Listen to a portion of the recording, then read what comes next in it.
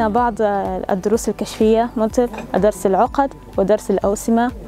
والحمد لله اليوم حفل ختامي لهذا المخيم. ونتمنى قدمنا كل ما يستحقه الفتاة في هذا المخيم من مهارات وكسبت مهارات وتعلمت حاجات. علمونا لما نطبخ وكيف لما نكونوا في المكان خالي كي ما فيش حاجة كي علمونا كيف نجمعوا الحطب وولعوا نيران وإن شاء الله إن شاء الله نكون قايدة ونعلم أجيال.